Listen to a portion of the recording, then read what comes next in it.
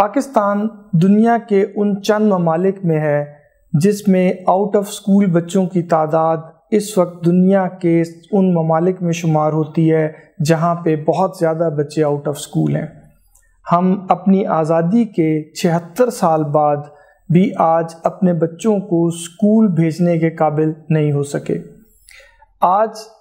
के point of time पे हमारे पास एक दफ़ा फिर मौका है कि हम दुनिया में बदलते हुए डायनामिक्स को सामने रखते हुए शॉर्ट कोर्सेज के ज़रिए से अपने उन बच्चों को जो स्कूल नहीं जा सके, ऐसी स्किल सिखा दें जिनके साथ एम्प्लॉयमेंट आने वाली सदी में जुड़ी हुई है। हम छोटे छोटे कोर्सेज के ज़रिए से और ख़ास तौर पे डिजिटल लिटरेसी के ज़रिए से इनको शामिल कर सकते हैं, उस धारे में जहाँ ये कौम के लिए एक मुफीद इंसान के तौर पे कंट्रीब्यूट कर सकते हैं।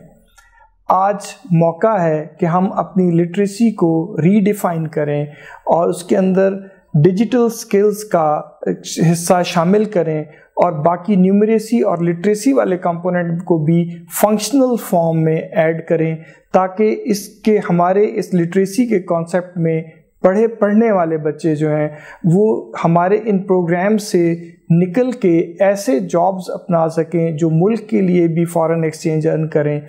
और अपनी लाइफ्स को भी बेहतर बनाइए।